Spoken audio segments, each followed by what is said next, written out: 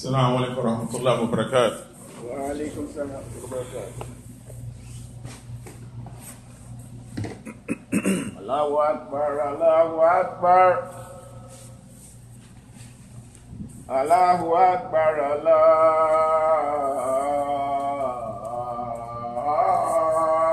أكبر أشهد أن لا إله إلا الله أشهد أن لا إله إلا الله. أشهد أن محمدا رسول الله. أشهد أن محمدا رسول الله. إلا الصلاة. إلا الصلاة. إلا الصلاة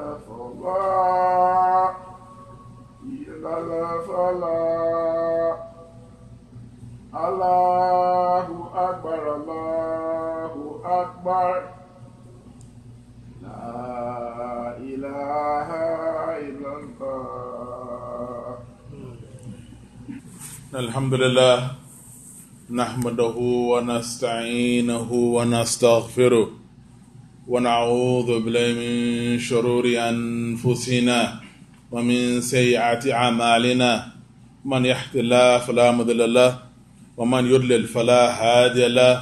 وأشهد أن لا إله إلا الله وحده لا شريك له. وأشهد أن محمدا عبده ورسوله. يا أيها الذين آمنوا اتقوا الله حق تقاته ولا تموتن إلا وأنتم مسلمون. يا أيها الناس اتقوا ربكم الذي خلقكم من نفس واحدة وخلق منها زوجها وبث منهما رجالا كثيرا ونساء. واتقوا الله الذي تساءلون به والأرحام.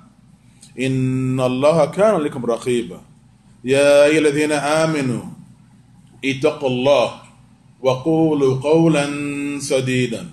يصلح لكم أعمالكم ويغفر لكم ذنوبكم. ومن يطع الله ورسوله فقد فاز فوزا عظيما. أما بعد إن أصدق حديث كتاب الله عز وجل وأحسن حدي حدي محمد صلى الله عليه وسلم. وشر أمور محدثاتها وكل محدثة في الإسلام بدعة وكل بدعة ضلالة. وكل ضلالة في النار. الحمد لله رب العالمين. لبيك اللهم لبيك. لبيك لا شريك لك لبيك. إن الحمد ونعمتك لك الملك لا شريك له. سبحان الله والحمد لله ولا إله إلا الله والله أكبر ولا حول ولا قوة إلا بالله. الحمد لله رب العالمين. على نعمة الإسلام. and had ni'mah and blessing, al azim, this great blessing that Allah Azza wa Jal has endowed us with, wallah alhamd, to be alive and well at this blessed time period, wallah alhamd, and being blessed with the opportunity to gain the blessing, the barakat, the maghfirah, the forgiveness, and the kabul al-amal salih, and the acceptance of our deeds, lahum ameen. In these blessed days of Dhul Hijj, these blessed first days of Dhul Hijj, Wallah alhamd. As we all know that many people have passed away in this year and prior to this time that we're in right now for various reasons. People have been shot down while trying to visit or coming from visiting their loved ones. Innocent people have been killed in the United States, Canada, in America. People have been killed or dying due to different reasons, due to COVID, and the list goes on and on and on. Inna lillahi wa inna raji'un. Well, alhamd, we have to praise and thank Allah that we're alive at this moment in time during the first 10 days of Dhul Hijj. That regardless of what happened and what is happening and what will continue to happen, we have to praise Allah Azza wa Jal that we have been endowed with an opportunity to gain the rewards of Allah subhanahu wa ta'ala. during these first 10 days of Dhul Hijj. And nothing should prevent us from doing so. So today, with Alhamd, I want to start by reminding us that in times of fitna, we have to increase in our good deeds. We should not decrease, but we should look for ways and means to increase in our amal salih. We should hasten to maximize our good deeds. In these 10 days, these first 10 days of Dhul Hijj, should be to catapult us, to let us go forward into the rest of the year, looking forward to doing good deeds. Why? For the sake of Allah Ta'ala, first and foremost. Because one Allah Azza wa Jal. Allah Azza He swears by these days by saying, Wal Fajr, Wal Yal Ash. Allah He gives the wow, He starts by saying the wow qasam, by giving an oath, by swearing by the dawn. And the oath of this morning is referring to the morning of the day of Nahar, the day of sacrifice, without an ash, meaning the night, the 10 days, referring to the, the first 10 days of Dhul Hijj. Allah Azza He swears by the Fajr, wal Fajr, wal, wal Asr. Allah Azza He swears by the, the Shams, wal Shams, wal Qamar, by the sun, the moon, the time. Lillah mathal al-ala. Allah Azza for Allah Azza is the best example. And Allah Azza He can make the qasam. He can swear by whatever He wants from His makhluqat. Well, alhamd. We have to know that this, my dear Iman, this today, my dear Iman, this moment that we're in, this time period that we're in, is a great blessing. It's a great blessing. And we are encouraged to do as many good deeds as humanly possible. What does this mean?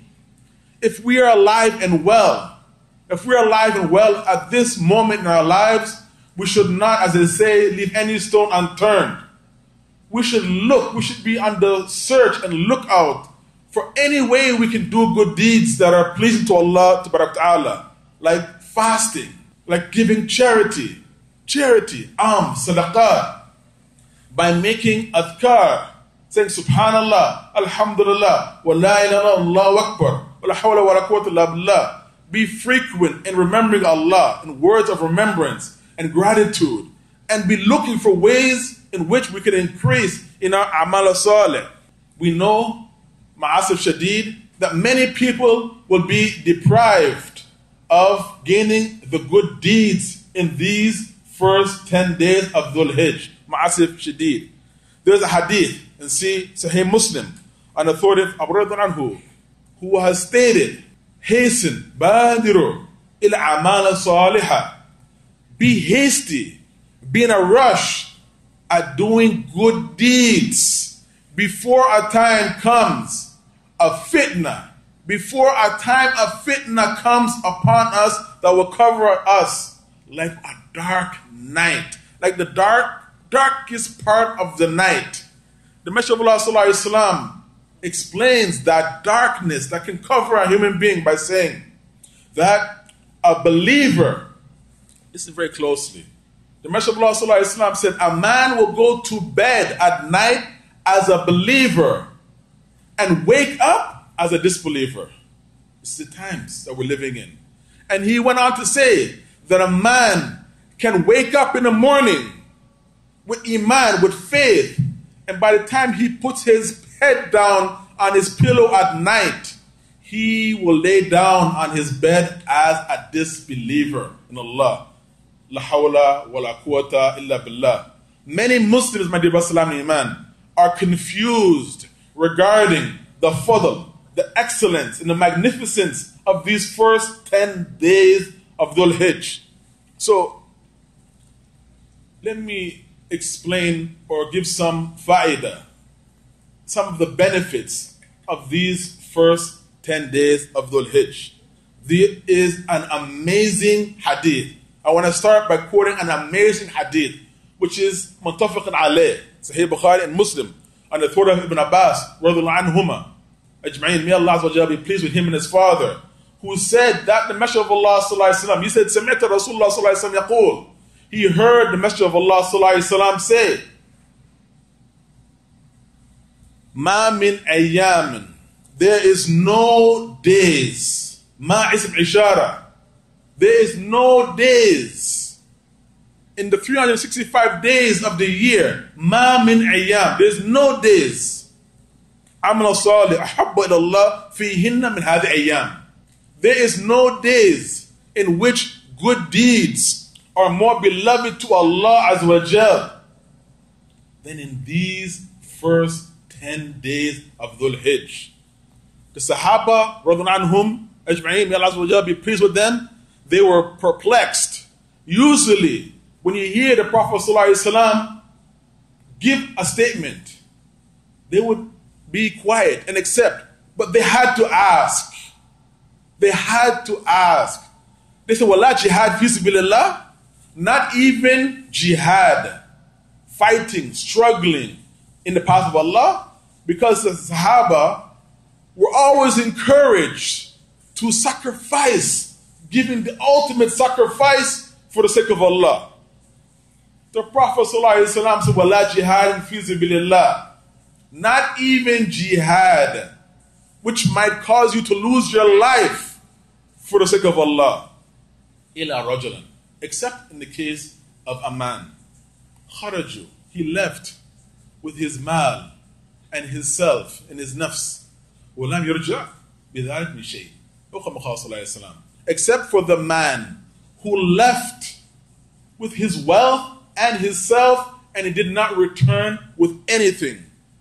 There's another hadith in the Musnad of Imam Ahmed ibn Hanbal where he said, Sallallahu Alaihi Wasallam, Ma min ayyam adam indallah ولا حب إليه عمل فيهن من هذه أيام العشر أكثر فيهن من تحليل وتكبير وتحميد أو كما قال صلى الله عليه وسلم he said there is no days that are more magnificent in the eyes of Allah than these days and more beloved to Allah than these first 10 days of Dhul Hijj.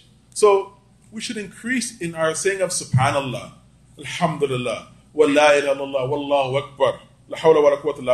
We should increase in saying these things because these are the most beloved phrases to Allah.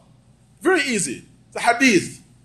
But Rasulullah said, Kalimatan, khafifatan, ala lisan, wa thaqilatan bil mizan, wa habibatan lirrahman. Subhanallah bihamdihi, subhanallah al-azim. There are two statements that are light on the tongue and heavy on the scales. And they are more beloved. They are very beloved to the most merciful, Ar Rahman. Subhanallah. Wa bihamdi. Glory and magnificent is to Allah. And all praise due to Allah. And Subhanallah Adim. So, my dear Brother Iman, these days are so magnificent to Allah. Why? Because they also have within it Yom al Arafah the day of the great standing. And this is symbolic for many reasons to remind us of Yom Hash, when we're all going to be risen up out of our graves and we're going to all rush to one place. And the Hujjaj, may Allah accept from them their Hujjaj. And we know that this year we will not have people coming from all over the world. It will be a special year. This year is a very interesting year indeed. And we have to accept that. But this is from the Mashiach Allah. Is from the Qadr of Allah. It's from the will and plan of Allah Azza wa Jal. That only the local people will be making Hajj. Regardless of that, we have an opportunity to gain the blessing and the rewards. Yom al Arafah is a tremendous day indeed, my dear Brother Niman.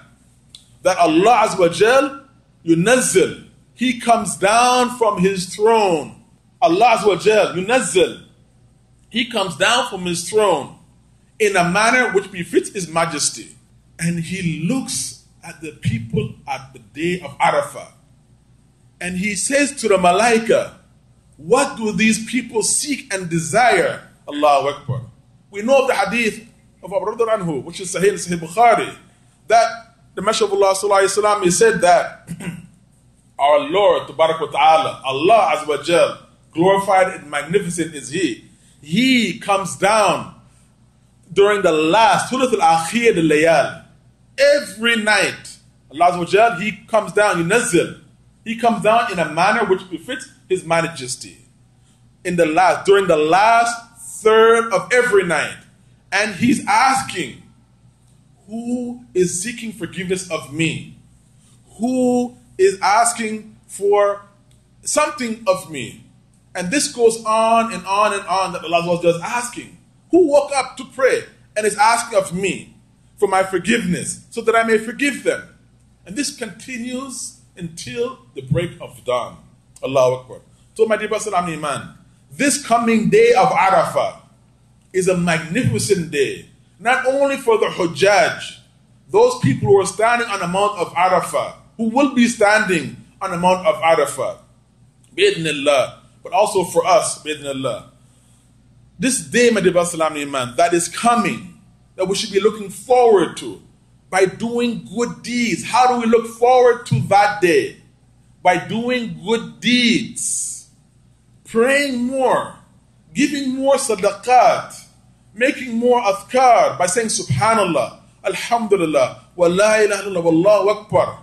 By doing these things in the hopes that these deeds will catapult us, will bring us to that day of Arafah. Because this day is a magnificent day. For those of us who are unaware, is that Allah had perfected our deen on that day.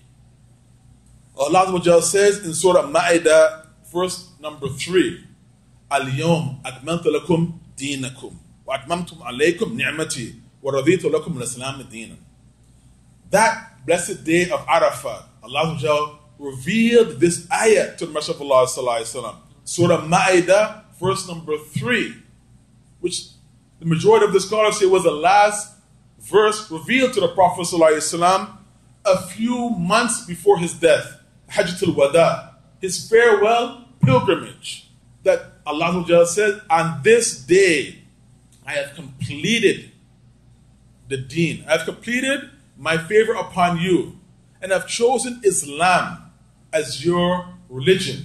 I am pleased with Islam as your religion. Well, alham. So the ninth day, the coming day, the ninth of Dhul Hijj, is a tremendous day for us to mark the blessing and the completeness of our deen. Alhamd. On that day, Umar ibn Khattab was with the Prophet when this verse was being revealed to the Prophet ﷺ, he started to cry. And we know of the magnificence of Ibn Khattab. That the Prophet ﷺ said that if ibn Khattab walked on one, one wadi, walked on one side of the road, the shaitan would walk on the other side of the road. This is the strength and the fiqh of his iman. When this ayah was revealed, Umar ibn Khattab, he started to weep profusely. He started to cry. The Prophet ﷺ, he asked, Ya ibn Khattab, what makes you cry? He said, this day our deen is becoming complete. And nothing that reached its completeness unless it will reach a point of decline. The Prophet ﷺ, he replied by saying, Sadaq. Umar Sadaqt. You have spoken the truth, Ya Umar. You have spoken the truth. Look at how these blessings have descended upon us. Look at how we have been blessed with a complete deen, a complete way of life, as opposed to the other adyan, the other religions that have many books and call it one book. They have many books from different different eras, and they call it a perfect, a complete books. And one part of the book contradicts the other part of the book. La hawla wa la quwwata illa billah.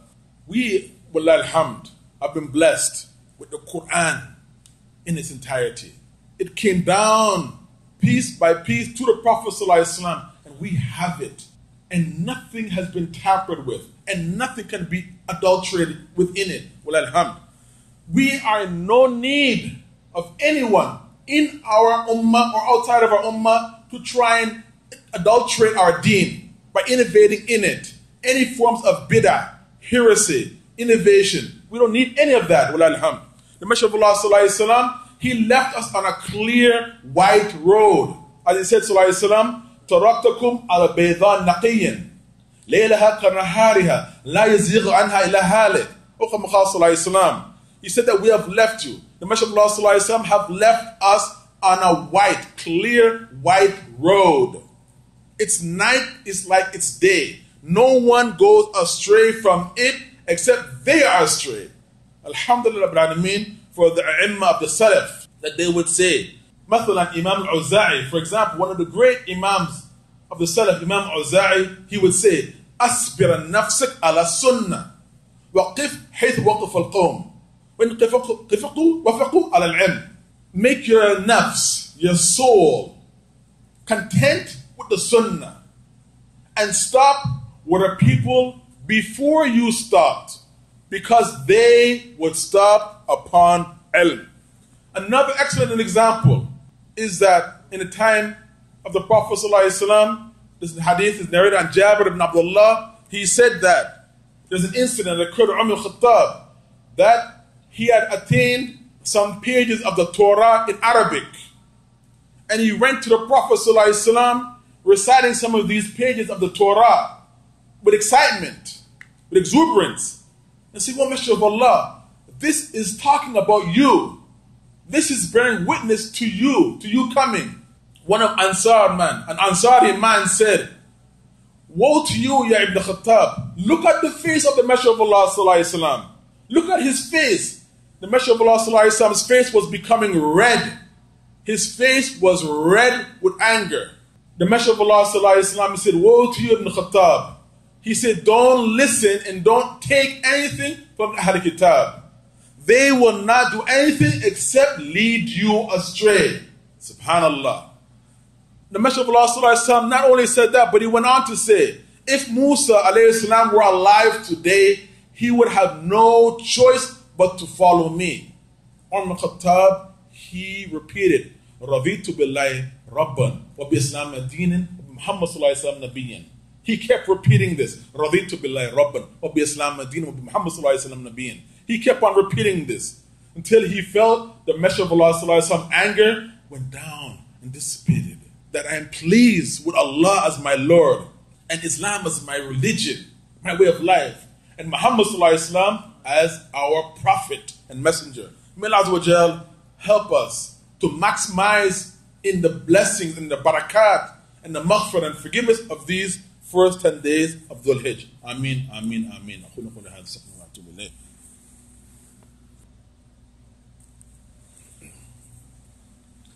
بسم الله والصلاة والسلام على رسول الله وعلى آله وصحبه من تبع هدى وبعد To end off, my dear Islam Iman, on the virtues of these first blessed 10 days of Dhul Hijj. Alhamdulillah, Alhamdulillah, Allah Akbar, Wallah Alhamd, that we're alive. We have to give thanks to Allah that we're alive and well. We're alive and well enough to do good deeds in these 10 days of Dhul Hijj. As we mentioned from the Sunnah, that these coming days have within it Yom al Arafah, the ninth of Dhul Hijj. Allah He descends on the day of Arafah, looking at the who are standing on the mount of Arafah. And we also have from the Sunnah that the Messenger of Allah وسلم, said that there are no days that are better, more beloved to Allah than هذه أيام العشر in these 10 days of Dhul Hijj that we're in. Why is that?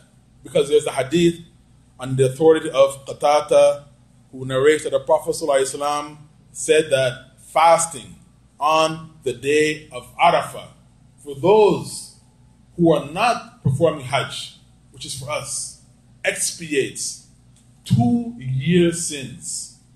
Sana Madi, the last year and the coming year sin. We have two years of sins that can be removed from our record if we just fast one day. One day. So, my dear Salam man, we shouldn't forget to fast on that coming day of Arafat, which is this coming Thursday. which is this coming Thursday. If we haven't already, we should make the intention to slaughter, to offer a sacrifice, qurbani, udhiyah, for the sake of Allah. For the sake of Allah. We should give some a portion of that to the poor, to the needy, and also eat from it and feed your family from it and your friends from it. And we should make the intention to do more good deeds Do more good deeds. Make more adhkar. Make more saying of subhanallah, alhamdulillah, wa la ilaha illallah, wa la hawla wa quwwata illa billah. Give more charity. Wallahi tawfiq. Wallah azza wa jal lies our success. Ameen, ameen, ameen. Inna Allah wa malaikatu sallu ala nabi. يا أيها الذين آمنوا صلوا عليه وسلم اللهم صل على محمد وعلى آل محمد كما صليت على إبراهيم وعلى آل إبراهيم إنك حميد مجيد اللهم بارك على محمد وعلى آل محمد كما باركت على إبراهيم وعلى إبراهيم إنك حميد مجيد. ربنا أعتني في الدنيا حسنة وفرخ حسنة وقنا دمنا وقنا سلام